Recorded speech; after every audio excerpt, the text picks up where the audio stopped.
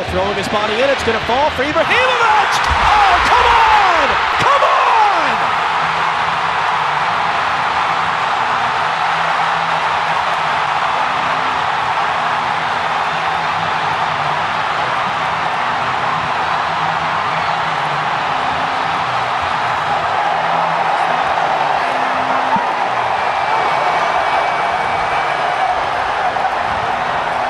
LAFC have just been Zlatan.